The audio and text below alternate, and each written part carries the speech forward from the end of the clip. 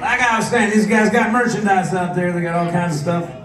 And uh, can't find anything at their merch stand that you like. We got merchandise too. It'd be highly unlikely you couldn't find any shit that, that, those guys probably would like. It's pretty good. I feel like this would be a hell of an opportunity to play a Tom Petty song.